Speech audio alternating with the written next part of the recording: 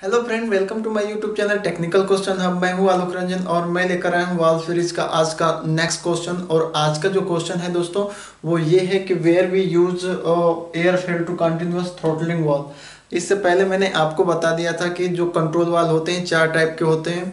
एक air fail to open एक air fail to close और एक एयर फेल टू स्टेपुट और ये लास्ट जो है कि air fail to continuous throttling तो अगर आप ये वीडियो देख रहे हो तो सबसे पहले वो तीनों जो वीडियो हैं, वो प्लीज़ आप देखो और तब आपको अच्छे से समझ आएगा। दोस्तों जब air fail to continuous throttling की बात आती है तो वो जो है, कैसे वर्क करता है, उसके लिए जो इससे पहले हमने बताया था कि स्टेपुट जो कंट्रोल वाल है, उसकी कैसी मैकेनिज्म है कहाँ पे एयर एयर लगी होती है तो सेम उसमें भी यही है। इसमें भी हमारी जो इंस्ट्रूमेंट एयर जो जाएगी, वो जो अपने डायफ्राम में दो जगह से जाएगी, एक ऊपर और एक नीचे। अगर हमारा कंट्रोल वाल को खोलना है तो हम हम अगर उस केस में हम क्या करेंगे इंस्ट्रूमेंट एयर को हम क्या करेंगे डायफ्राम के नीचे से पास कराएँगे और ऊपर वाली जो इंस्ट्रूमेंट एयर की सप्लाई उसे कम करते जाएँगे, इधर बढ़ाते जाएँगे। तो एयर डायफ्राम पे प्रेशर देगी और डायफ्राम जैसे जैसे ऊपर उठेगा तो ये लाइन है लाइन में ये अपना गेट वाल हो या बॉल वॉल हो, कोई भी कंट्रोल वाल हो तो वो धीरे धीरे ही ऊपर उठेगा और फ्लो हमारा चला जाएगा। सेम ऐसे अगर इंस्ट्रूमेंट अगर कंट्रोल वाल को बंद करना है तो हम नीचे जो सप्लाई कम करेंगे ऊपर बढ़ाएँगे तो वो क्या करेगा? धीरे धीरे डायफ्राम दबेगा। डायफ्राम से हमारे स्प्रिंग जो लगी है वो दबेगी और उसकी और जो स्प्रिंग से जो स्टेम लगा है स्टेम से जो वाल लगा है वो दब जाएगा तो यानी कि बंद हो जाएगा। लेकिन दोस्तों सेम ये स्टेपुट की तरह है। लेकिन दोस्तों ऐसा क्या होता है कि ये आ, इसको हम कंटिन्यूस थ्रोटलिंग वाल कहते हैं या उसके कटघरी में रखते हैं। दोस्तों इसमें क्या होता है कि सेम मैकेनिज्म इसमें, उसमें क्या होता था कि एयर फेल होती थी तो जहाँ था, वहीं रुक जाता था।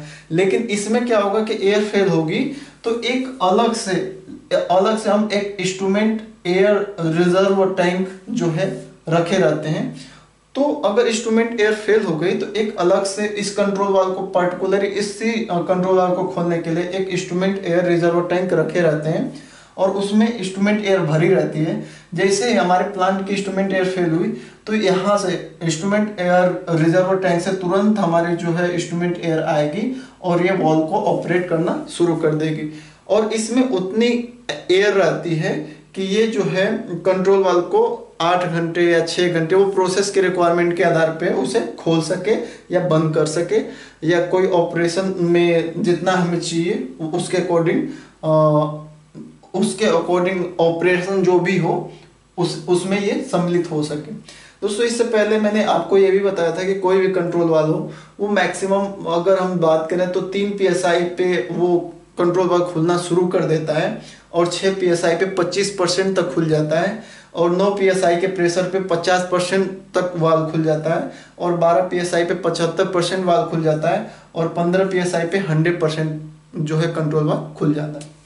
तो आपको ये समझ में आया कि इसमें क्या है? सेम वो स्टेपुट ही है बट एक अदर हम एक अदर जो है reserve tank instrument air reserve tank लगा देते हैं जो, जैसे प्लांट की जो इंस्ट्रूमेंट एयर फेल हुई तो तुरंत यहाँ से एयर गई और इसे ऑपरेट करने लगी। दोस्तों जैसे इंस्ट्रूमेंट रिज़र्व टैंक को वैसे समझे, जैसे हम बाइक चलाते हैं बाइक में हमारा रिज़र्व ऑयल होता है तो कभी जैसे ही हमारा पेट्रोल ख़त्म होता है तो हम बाइक को रिज़र्व पे लेके जो भी है चालीस किलोमीटर, पैंतालीस किलोमीटर कवर अप कर देते हैं। तो सेम ऐसे ही ये भी रिज़र्व टैंक है। अब चलिए समझते हैं इसे अच्छे से दोस्तों कि क्या है इसे।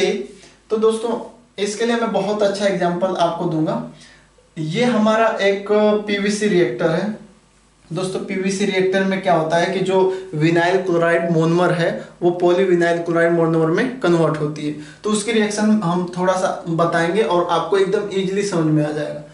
दोस्तों, इसमें क्या होता है कि सबसे पहले हम एनएस स्प्रे कर देते हैं, जो एंटी स्केलेट एजेंट है, जो रिएक्टर के दीवारों पर चिपक जाएगा, जिससे स्केलिंग या क्रस्ट नहीं जमेंगे। उसके बाद इसमें हम पॉलिश वाटर के साथ सस्पेंडिंग एजेंट डाल देते हैं, क्योंकि ये जो रिएक्शन है पीवीसी की, वो सस्पेंडिंग सस्पेंशन पॉलीमराइजेशन रिएक्शन है। तो ये डाल दिए। उसके बाद कैटालिस्ट डाल दिए इसमें। इनिशिएटर इनिशिएटर क्या करेगा? रिएक्शन को स्टार्ट करने, कर देगा। उसके बाद हम वीसी चार्ज करेंगे। विनाइल क्लोराइड मोनोमर चार्ज करेंगे। इकतालीस दशमलव पाँच टन करेंगे। तैतीस मिनट के लिए। है ना दोस्तों? ये कैपेसिटी के आधार पर कहीं भी कितनी भी हो सकती है। उसके बाद हम एच चार्ज करेंगे। इसमें हॉट हॉट जो है हॉट प्रेशर वाटर जो होता है, वो चार्ज करेंगे। हॉट वाटर प्रेशर हम इसलिए करेंगे दोस्तों, ताकि वो रिएक्शन का जो टेम्परेचर है, उसे अचीव करा दे। उसके बाद दोस्तों, ये जो है रिएक्शन टाइम आठ घंटा। आठ घंटा ये लेगी, तब जाके हमारी पूरी विनाइल क्लोराइड मोनोमर जो है पॉलीविनाइल क्लोराइड मोनोमर में सॉरी पॉलीविनाइल में कन्वर्ट हो जाएगी। तो दोस्तों, ये सब तो हमने चार्ज कर दिया, सब कुछ चार्ज कर दिया और रिएक्शन हमारी स्टार्ट हो गई। अब सपोज़ करो आप कि जैसे ही हमारी रिएक्शन स्टार्ट हुई, उसी समय इंस्ट्रूमेंट एयर फेल हो गई। उस कंडीशन में क्या करेंगे? और उससे पहले आप ये समझो कि ये जो रिएक्टर है रिएक्टर का हमारा जो प्रेशर है मेंटेन होना चाहिए 8.5 अगर 8.5 से कम हो रहा है तो हमारा जो रिएक्शन बिल्कुल बैच खराब हो जाएगा, बहुत नुकसान हो जाएगा बैच फेलियर हो जाएगा। अगर 8.5 से ज़्यादा हो जाएगा तो हमारा, आप समझो कि सिस्टम ओवर प्रेशराइज होगा पीएसवी पॉप होगी, पूरी इन्वायरमेंट में हमारा पीवीसी फैल जाएगी, और या तो ओवर प्रेशराइज की वजह से एक्सप्लोड भी हो जाए। यानी कि हमें 8.5 ही मेंटेन करना है ना इससे कम ना इससे ज़्यादा। टेम्परेचर क्या मेंटेन करना है दोस्तों? अंठावन डिग्री। 58 डिग्री हमें मेंटेन करना है। अगर इससे कम किए तो रिएक्शन ही नहीं होगी। अगर इससे ज़्यादा किए तो जो टेम्परेचर है, वो directly directly proportional to pressure होता है तो प्रेशराइज करेगी सिस्टम को और वही होगी। ओवर प्रेशराइजेशन की वजह से एक्सप्लोड कर सकता है पीएसपी पॉप हो सकती है पूरे इन्वायरमेंट में। हमारा विनाइल क्लोराइड भर जाएगी। और ये है। तो हमें क्या करना है कि प्रेशर 8.5 मेंटेन करना है और टेम्परेचर अंठावन डिग्री मेंटेन करना है। तो इसके लिए हम क्या करते हैं दोस्तों? कूलिंग वाटर का यूज़ करते हैं। कूलिंग वाटर क्या करता है? अंठावन डिग्री मेंटेन करता है। अगर अंठावन डिग्री से ज़्यादा हमारा टेम्परेचर बढ़ रहा है तो ये कूलिंग वाटर का जो कंट्रोल वाला है, वो ज़्यादा खुलेगा। जैसे अगर टेम्परेचर ज़्यादा बढ़ रहा है तो वो 70 परसेंट ओपनिंग खोल दे सत्तर परसेंट इसकी ओपनिंग खुल जाएगी और अंठावन डिग्री मेंटेन हो जाएगा। अगर टेम्परेचर डाउन जा रहा है तो यही जो ओपनिंग है, सत्तर परसेंट से ना होके, ये तीस या बीस या ज़ीरो हो जाएगी, जिससे वो तुरंत बंद हो जाएगी। मतलब पानी जाना बंद हो जाएगा और हमारा टेम्परेचर डाउन होना कम हो जाएगा और एक कांस्टेंट मतलब इसको मेंटेन करने के लिए कंट्रोल वाल की ओपनिंग खुलेगी या बंद होगी। और जो अपना जैकेट का टेम्परेचर है, उससे हम इसके टेम्परेचर को मेंटेन कर लेंगे। अब दोस्तों अब हम बता रहे हैं कि ये जो अपनी कंटिन्यूस थ्रोटलिंग का जो है इम्पोर्टेंस क्या है। सपोज़ करो दोस्तों, यहाँ पे आप air fail to open condition one में लेके चल रहा हूँ। कंडीशन वन हमारी कह रही है कि चलो हम मान लेते हैं कि ये जो है हमारा कूलिंग वाटर का कंट्रोल वाला है, ये ये एयर फेल टू ओपन हो। तो क्या होगा उस कंडीशन में? जैसे इंस्ट्रूमेंट एयर फेल होगी तो ये तुरंत खुल जाएगा। जो हमारा एयर फेल टू ओपन क्या होता है कि जैसे इंस्ट्रूमेंट एयर फेल हुई तो तुरंत खुल जाएगा। तो जब ये खुलेगा तो वो हंड्रेड परसेंट खुल जाएगा। हंड्रेड परसेंट खुल जाएगा तो ये जैकेट में इतना ज़्यादा पानी आ जाएगा कूलिंग वाटर कि ये जो अट्ठावन डिग्री का टेम्परेचर है तुरंत घट के बैठ जाएगा। ये लगभग तीस या बत्तीस या पैंतीस डिग्री तक आ जाएगा। ये वाला, क्योंकि कूलिंग वाटर ज़्यादा मिलेगा, ज़्यादा हीट ट्रांसफ़र होगा डाउन चला जाएगा। तो उस केस में हमारा क्या होगा? रिएक्शन टेम्परेचर जो है हमें अचीव नहीं होगा और हमारा पूरा बैच फेल हो जाएगा, पूरा नुकसान हो जाएगा। है ना दोस्तों? अब चलो कंडीशन नंबर दो। इसलिए हम एयर फेल टू ओपन तो हम इसे करेंगे नहीं। अब मान लो कि कंडीशन नंबर दो हम देते हैं। सपोज़ करो कि हम एयर फेल टू क्लोज लगाते हैं। अगर air air fail to close लगाएँगे तो वो क्या करेगा? जैसे इंस्ट्रूमेंट एयर फेल हुई तो ये तुरंत बंद हो जाएगा, यानी कि ज़ीरो परसेंट पे आ जाएगा, यानी कि पूरा का पूरा कंट्रोल वाल बंद। तो उस समय जो हमारी, एक और मैं बात बता दूँ कि ये जो रिएक्शन है, ये एक्जोथर्मिक रिएक्शन है दोस्तों। एक्जोथर्मिक रिएक्शन है, अगर अगर हमारा एयर फेल टू क्लोज हम यहाँ पे लगा दें तो वो क्या करेगी कि इसमें एक्जोथर्मिक रिएक्शन है, इतना ज़्यादा हीट इवोल्यूट होगी, बाहर निकलेगी, कि हमारा जैकेट का टेम्परेचर मेंटेन नहीं होगा और ये पूरा रिएक्टर पूरा ओवर हीट हो जाएगा और एक्सप्लोड कर जाएगा। अगर हम इसके टेम्परेचर को कंट्रोल ना करें तो तो उस केस में हम पानी जब जाएगा नहीं तो रिएक्शन टेम्परेचर जैकेट का टेम्परेचर या रिएक्टर का टेम्परेचर कंट्रोल नहीं होगा तो इसलिए यहाँ पे हम एयर फिल टू क्लोज भी नहीं लगाएँगे। अब कंडीशन नंबर तीन देखते हैं, कि air fail to step put लगा दें। स्टेप पुट सपोज़ करो कि हम air fail to step put लगा दें तो उस केस में क्या होगा दोस्तों? कि स्टेप पुट का मतलब कि अगर ये उस पोजीशन में था, मान लो कि ये 25 परसेंट पोजिशन में था, तब इंस्ट्रूमेंट एयर फेल हो गई। तो ये 25 परसेंट पे ही रहेगा। तो उस केस में न हमें कूलिंग मिल पाएगी और न ठीक से तो सपोज़ करो ये 25 पे ही खुला है तो 25 परसेंट ओपनिंग अगर यहाँ पे टेम्परेचर बढ़ रहा है, एक जो थर्मिक रिएक्शन है, बहुत ज़्यादा टेम्परेचर बढ़ रहा है तो उस केस में तो हमारा ये कंट्रोल ही नहीं होगा, क्योंकि बहुत 25 परसेंट ओपन है।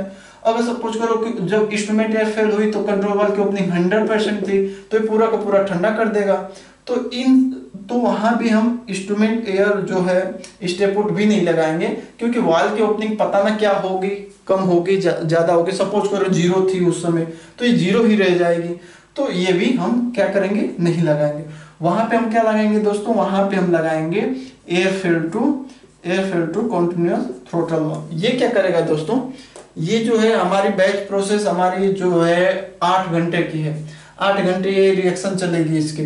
तो आठ घंटे तक इस इस कंट्रोल वाल को ऑपरेट करने के लिए एक अलग से रिज़र्व इंस्ट्रूमेंट एयर टैंक हम लगा देंगे, जो आठ घंटे इस इस कंट्रोल वाल को ऑपरेट करे। इसके टेम्परेचर को जैकेट के टेम्परेचर को देखते हुए या रिएक्शन रिएक्शन को देखते हुए ये अपने आप खुलेगा, बंद करेगा, ज़्यादा होगा या कुछ भी।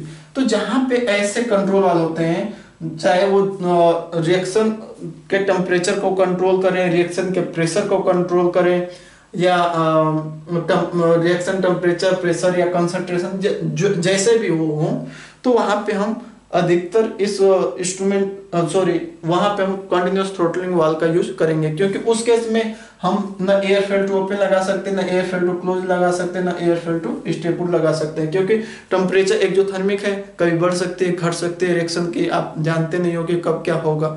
तो वहाँ पे अपने हिसाब से अगर ये इंस्ट्रूमेंट रिज़र्व टैंक होगा तो आप उसे, उससे कर सकते हो।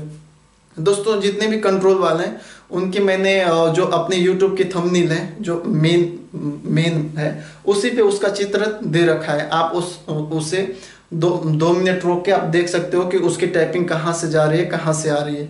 इस इस कंट्रोल वाल के लिए मैंने जो थंबनेल दिया है तो उसमें बस हमने एक सिलेंडर जो है, दो सिलेंडर वो बना के डाल रखे हैं।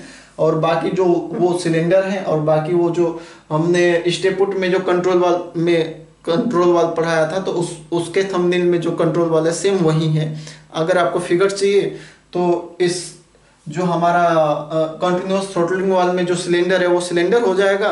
और जो स्टेपुट में जो एक्सीवी है, जिसमें हमारे दोनों तरफ़ से हमारे नोजल जा रही हैं इंस्ट्रूमेंट एयर की तो वो कंट्रोल वाल हो जाएगा। तो यानी कि दोनों का कॉम्बिनेशन ये हो जाएगा।